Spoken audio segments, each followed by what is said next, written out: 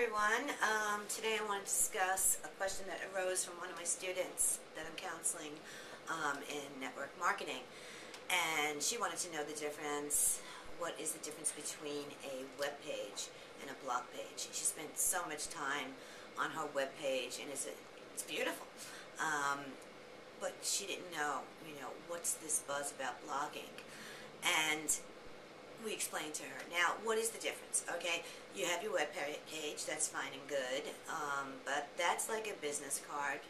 Okay, it doesn't really go anywhere, it's not interactive. Whereas if you have your blog page set up, okay, and if it's done professionally, you know, you get more widgets on it and whatever, um, I would recommend WordPress. It's free, um, and it's fabulous, you know, to have your blog there.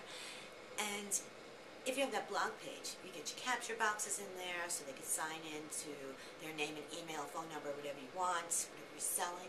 Um, it's interactive because every day as you post, it gets out there uh, into the world. And you link it. You link it to your Facebook, your Facebook fan page. You can link it to Twitter, um, and so on and so forth, whatever networks you're using. Um, and this will kind of you know get more attract more attention to you.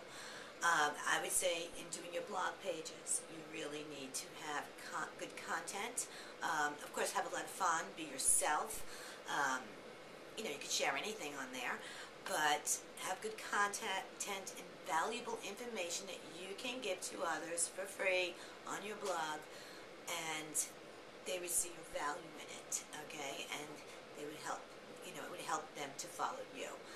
Um, it's not a lot of work once you get the hang of it, and um, I prefer doing lots of videos um, instead of writing sometimes. I mix it up. You can do whatever you want. If you're camera shy, well, I get I have a couple of videos on being camera shy too to get over that. Uh, but um, that's the basically the difference. Okay, so I just want to do the question of the day, and um, that arose today, and I'm here to tell you that answer.